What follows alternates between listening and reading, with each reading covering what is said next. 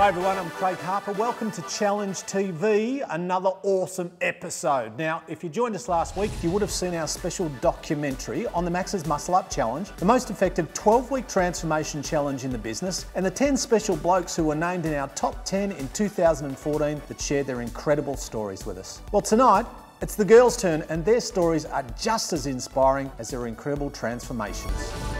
So with registration for the challenge now open, we thought what better time to show you this. So I want you to sit back, have a look at 10 amazing women and their stories. Not amazing just because of what they achieved through the challenge, but because of what they were also doing before the challenge. They were just like you. They were maybe sitting on the fence at some stage, will I, won't I? We all do that. We all do that. That's part of being human. But the thing that they did, they took action. They took action, made the decision, did the work, got the result, changed their body, and change their lives. Let's take a look at their stories.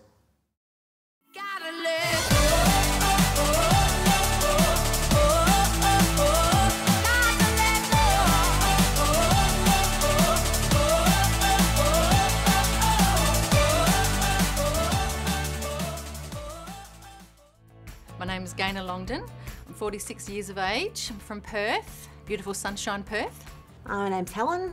I live in Melbourne in the Yarra Valley with my husband and my son. My name's Joe, Joe Philp. Um, I'm from Toowoomba in Queensland. I'm a FIFO worker. I work out in the gas rigs. Um, I'm a single mum. I'm 25 years old. I drive dump trucks in the mine, so I'm a shift worker.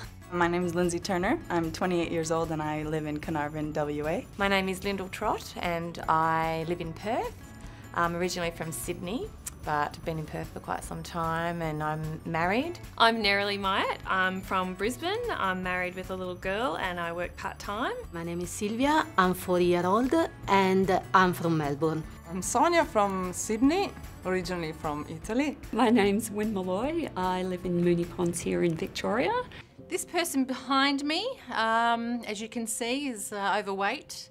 Uh, stuck in a rut as well. Um, hubby and I used to just come home and have a few drinks and get into the uh, the old position of uh, you know we'll do it tomorrow that sort of thing. And uh, you know tomorrow never came. It was always the same day, same things happening all the time.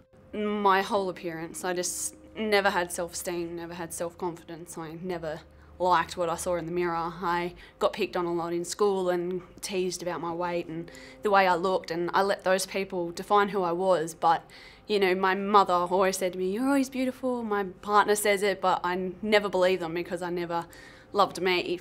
The before Lyndall was a bit uh, lost, I think. She used to be a healthy eater and an exerciser. Then kids came along and things just changed. And I no longer worked, I was a stay at home mum. So, not a lot of time in between to sort of get back to where I was before we had kids. There's not a lot to do. Um, so, you'd go up the coast and bring your esky full of beers and junk food and have a barbecue and snack away, really. With We'd always be eating crap junk food chips popcorn i'm a pop i well i was a popcorn fanatic i think i could eat a full microwave bag of popcorn a night, and I was doing that. I guess everyone has his story, but um, I lost my house, I lost my car, I lost my businesses. And that's not what this was about, but that's. I, I had to move back to Toowoomba because I had nothing left, and like I said, a lot of debt. I didn't. I didn't want to do that. Uh, I left. I lost. My, I left my friends behind. I didn't know anyone in Toowoomba. The only people that are there are my mum and dad, who um, are amazing. Like and my little girl's relationship with them is incredible. And I wouldn't change anything about it for the world. Like, we all go through what we go through to lead us to where we are today, and, and there's a reason for that, I believe. That girl, she had no confidence. That girl never liked herself.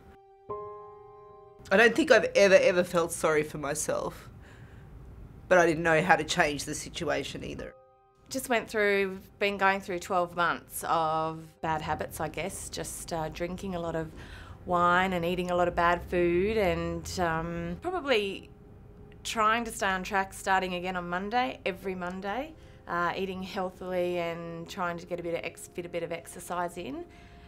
But then come Friday, I think the release uh, was to have a drink, and that just leads to other bad decisions and bad eating habits. and then getting back on the bandwagon on Monday. And unfortunately, that just never changed.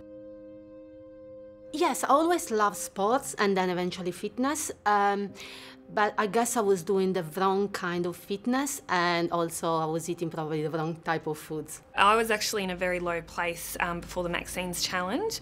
Um, I'd actually developed some anxiety, which at first started off being just a few things, but then got to the point where I was having anxiety attacks about everything every day. So then I was comfort eating a lot, so then I was putting on more weight. The more weight I put on, the worse I felt about myself, and it was just this terrible cycle. And the anxiety got so bad, I was looking at that I maybe wouldn't be able to go back to work. Yeah, I just felt so gross and unhappy, and I didn't feel like myself. I didn't feel confident, and I felt like I was just kind of depressed and not happy with where I was. I didn't like I didn't like putting on clothes. I didn't like going shopping and trying on stuff, and you know I should be doing that. You know, in your 20s, and that should be something that's fun and yeah, it just wasn't wasn't me. I was always left out. Like all my friends were constantly going to festivals wearing midriffs, but I never could. So I always felt left out because I could never wear those sort of clothes or do those sort of things. And every time I had to go out with them, I'd stress the whole week or two weeks beforehand because I had to try and find a outfit that fitted me and fitted my body, but to compare against them, where I, yeah, it just made me feel down all the time comparing myself to even my friends. Life before the challenge um, was very, very hard for me. Um, two years ago, we lost our son in a tragic accident and put me into a really dark place, somewhere I couldn't get out of at all. I just needed to change my life. I needed to climb out of that hole. I needed to stop drinking. I needed to stop eating what I was eating. I everything was comfort to me.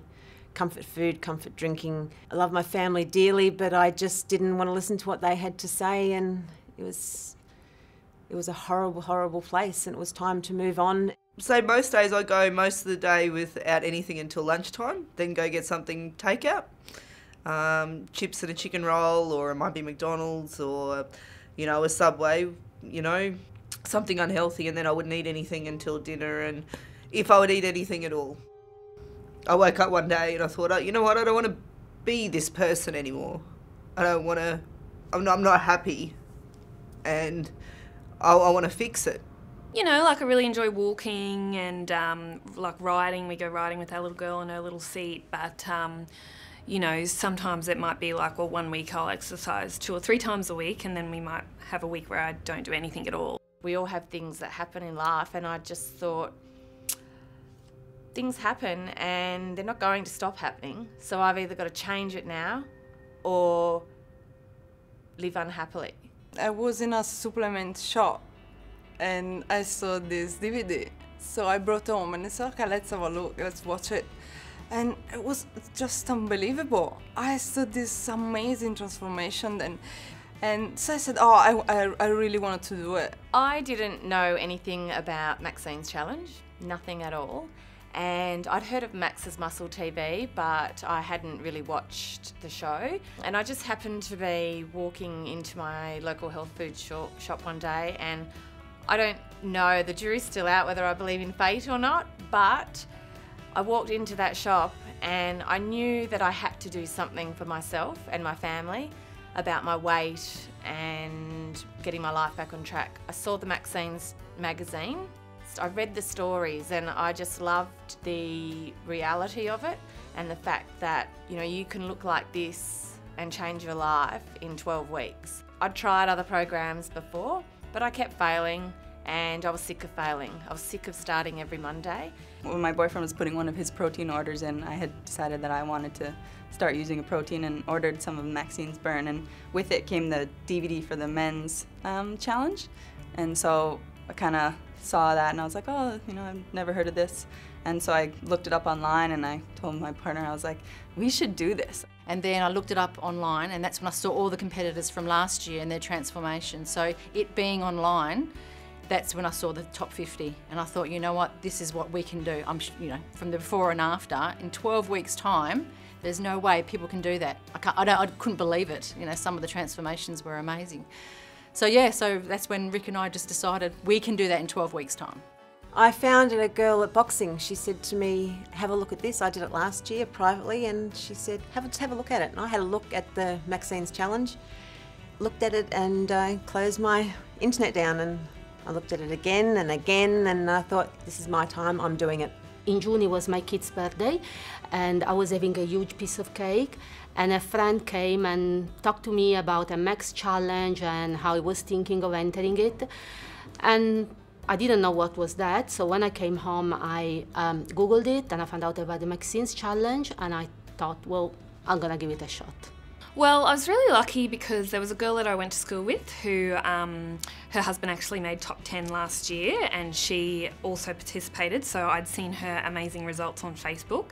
And she, her name was Pippa Cahill, and she's actually, um, she had six kids and, you know, she had the belly and she'd had an open heart surgery and her transformation was amazing. She went from having this belly of mum of five kids to flat belly and I thought well if she can have those results in 12 weeks like what what has she done my friend actually got me onto it. One of my bridesmaids was ringing me, and because we live in different states now, and she really just can't wait to go try on wedding dresses and bridesmaids dresses. And I was crying to her, saying, I don't want to. Like, I wanted to wear a boob tube dress, but I didn't want my back fat to roll over the back. I didn't want, like, at a wedding, everyone's got photos, taking photos of you at every different angle. And I'm like, no, I'll look fat in every photo. I, I just didn't like the fact of getting married. And she said to me, Look, I'm doing this 12 week challenge, Maxine's, do it with me. And I said, No, I don't want to. And like I had a look into it and I said, Oh, I don't want to because the photo's got to be public. And then she said, Just do it. Like, what have you got to lose? It's free to join. The reason it appealed to me was because it had protein um, supplements in it. It was foolproof. Like, you could look at it and go, Okay, well, that's when I need to take that protein and that's why like it's yeah. So that's why it appealed to me and why I wanted to do it. I decided to do this year's challenge again probably when um, all the publicity started coming out. So seeing I enjoyed doing it last year I decided that I wanted to do it again this year. When I first saw the plans I was like this is it, it looks easy it looks simple and it's something that I can do. It doesn't take anything fancy. And so I was just ready. And I think that I had come to the point where I was just so unhappy with myself that I was like, I need to do something serious about this now.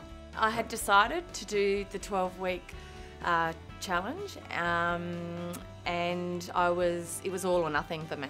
I was, I'd been on the website, I'd had a look at the eating programs, uh, the exercise programs, and it was just real. Everything about it was real for me and I thought I can do this.